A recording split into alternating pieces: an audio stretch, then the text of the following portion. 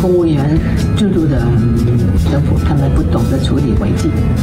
没有能力，没有这个经验。企业界大家都怕死，不敢出来。香港一般人的脑袋是不清楚自己是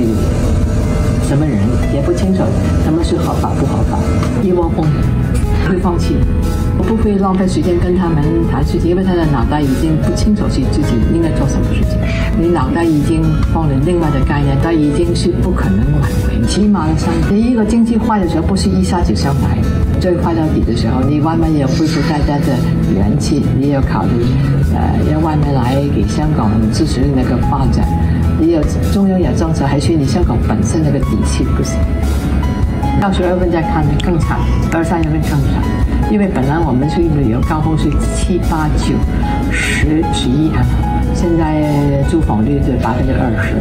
很多啊店铺也关门，一来的旅游当然是少了很多，还是外国人都不敢买。在香港的外国人，而且环境真不好的时候，他可能到深圳找工作，在深圳再发展事业嘛，所以离开香港，我觉得不容易。除了去中国的企业来香港用香港的平台融资就行了。